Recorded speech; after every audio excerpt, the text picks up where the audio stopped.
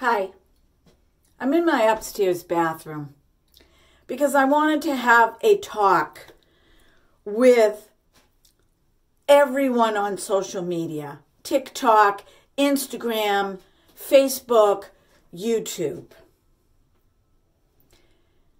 I think it's time that those of us that are 50, 60, 70, 80 need to push back. This is a challenge for those of you that are older and wiser. My big thing is why do social media algorithms focus on the youth? Why is that? Instead of pushing all of that the way it is, why not give credence to the wisdom that comes with getting older? And I'm not just talking about what goes on in the beauty industry. It's across the board. Think about it. When you see somebody that is older and you find out what their age is and you think, oh my goodness, how is it even possible that they are as old as they say they are? They look so young because the emphasis is on being young. Now, I think it is a tragedy that there is a division between youth and elders. Years and years ago, it wasn't that way. The youth would go to their elders to get wisdom or to discuss things that maybe they couldn't talk to their parents about because their parents were so busy making a living. And now it almost seems like those of us that are getting older, we are getting pushed out of the picture in so many ways. You know, when you stop and think about even financially, okay? But uh, my focus today is on the beauty industry and social media and even the algorithms that are associated with social media. You have to be a celebrity in order to get traction with age. And I find that really sad because with the population of the elderly on this planet, many of them are on social media. They're on the internet because they've had no choice. They're being forced to have to do this, even though they would rather spend time outside in their gardens or taking their pets for a walk they are being forced to have to do banking and to check their medical records. And so, if that's the case, then those of us that are getting older need more recognition. So, I'm kind of pushing back on this. I think more older people that are coming on to social media platforms like YouTube that have something to say, some wisdom to give our youth. The algorithms need to change and be reset. An equal opportunity across the board. You know, if I were to look at a beauty video and I were to say type something in, the videos that come up show much younger people. But does that mean that because I'm 63 years old, I don't enjoy wearing makeup?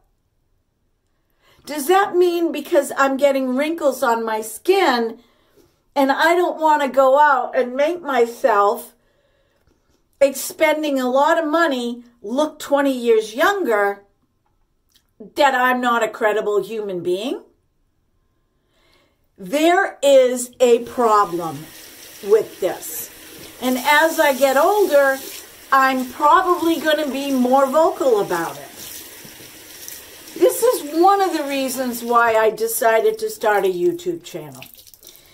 Because I remember when I was 10, 11, 12 years old, riding my bike down the street. Yes, we lived closer together back then, but I spent a couple of my summers with my grandmother and my grandfather. And my grandmother taught me how to play cards, how to crochet, taught me about transplanting plants, listened to me when I was having a bad day because my parents were busy raising us, making money, and it was a refuge for me to go. I had a really great relationship with my grandmother on my mother's side. And today, everybody is so busy that it seems, and I don't know how true this is, it seems like we are getting pushed aside. And not just by our youth, but by the whole industry of beauty, the whole industry of the internet. And I want to see that change. If you are older, particularly in your 60s and 70s, and your mind is still intact, and you're on social media, and you have something of value to say, why don't you jump on the bandwagon and start speaking out? I get tired of watching older women talk about what they do to make themselves look younger. That's not what I'm interested in. I'm interested in watching older women use their skincare or put makeup on in a, in a way that really looks nice on them for their age, going from coloring their hair to embracing their gray, the kinds of things that they're doing to make themselves healthy. Okay, these are the things that interest me. But it's almost as if you have to walk back 20 years in order to be seen. And I'm just not going to do that. And I'm encouraging you to do the same if you are in your 60s and your 70s and you want a voice on social media. You know, life is short. My first husband died at 37 years old after three open heart surgeries. And at that point in my life, I was only 34, 35 years old. I was young with three small children. And nothing else mattered to me. All of the things that I thought were important in life disappeared. The new furniture, the new clothes, the up and coming trends. Boom, fell to the ground. All of those kinds of things did not have meaning to me anymore. And at some point, you younger people, in your life, you will experience something that will either make you or break you. And you're going to look at your life and you're going to say to yourself, how come I'm so on the surface?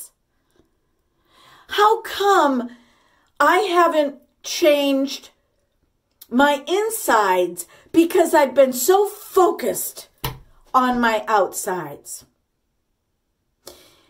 The other thing that drives me absolutely crazy is I was 94 pounds. I'm 4 feet 11 inches tall. I was 94 pounds soaking wet when I got married. And I stayed between 94 and 105 even through my pregnancies. Always lost my weight. And then I reached a certain age when I got remarried and got pregnant again, where it was a lot harder to lose that weight. And I love you, my son, but you wreaked havoc on my body. And it's never been the same. And you know, I used to look at my body and think, oh, I can't, you know. I look at my body now and I thank God that I was able to be pregnant at 35, 36 years old and conceive a son because I had three daughters and acquire a stepson and acquire all of the children that are coming after me because of the birth and the creation that came from me. Listen, you are more than this. You are more than this. You are a soul. And your soul is what is going to pass on. Your body is not. So, all you young people out there, start looking in here. Who am I? Why am I here? Why am I on social media even? Is it to show how beautiful I am and how youthful I am and how that's always the way it's going to be? Because it's not. And all these social media platforms, you guys need to change. Because there are many women and many men out there that have some really wonderful things to say to our youth and to each other on a global scale. So that's my rant for today. That's my pushback. I really am passionate about this because ageism is a thing. And I've been talking about this for a long time even before I started my YouTube channel. How instead of embracing our elderly, we want to push them out of the way. If you young people cared so much about your parents and your people in your life, you would lovingly try to explain to them a different way of looking at things. They may not agree with you, but instead of arguing with them, explain to them, love them. Because even those that are much older, they might not have the communication skills to tell you how much they love you. They weren't taught that. But they do. And if you want to push them out of your life, because of something that was said. You're not looking at the big picture. Yeah, there are valid reasons for some of you. But it doesn't have to be an across the board thing that everybody does because it's a trend. Or because somebody with a voice says, this is what's going on and it's all over the internet and it's all over social media. And so some young person looks at this and goes, yeah, gee, my dad yelled at me last week for doing something. I think he's abusive. And I think he's trying to destroy me. And they go off on this tangent. Well, it's the same thing with us as we're getting older. Okay? Things were not the same back then. We've got to change too. It's not just them, it's all of us. YouTube, TikTok, Instagram, Twitter, and on and on and on, WhatsApp, all of them. I'm not on every social media. I have enough to handle what I handle. Take these words of wisdom and start being inclusive, not just in what's trending, but in many different veins and I hope you hear me. Yep, this is me. No makeup, long gray hair, because this is what I want. And my body's not perfect, but I'm okay with all of it. Because inside here is what I want people to see. And sometimes I am bold, but that's okay. I see bold people all over the place, particularly younger people. Think about that. So we should be able to be that way too. Okay? I'm tired of the stigmas. I'm tired of the discrimination. And I'm tired of the derogatory concepts around age. If you're doing a video and you're an older person and you talk about wearing this particular item or putting this particular thing on your face, the emphasis is on making us, talking about my age and up, look younger. That is ageism. It's very subtle. We all want to look our best. But when the emphasis is on getting rid of fine lines and wrinkles, getting rid of these deep wrinkles, getting rid of these lines right here, changing every aspect of who we are and who we have become all our trials and our errors, uh, yeah, our trials and our errors, our changes. These are a gift. They shouldn't be looked down on. They should be embraced. Because it's those things that make us who we are.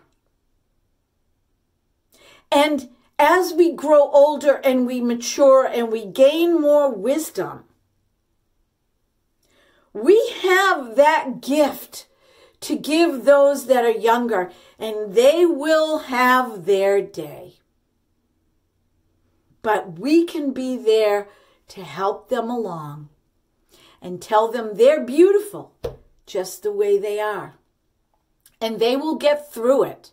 So don't throw us out Embrace us. Give us a platform that is bigger than it is. Okay? That's my message for today.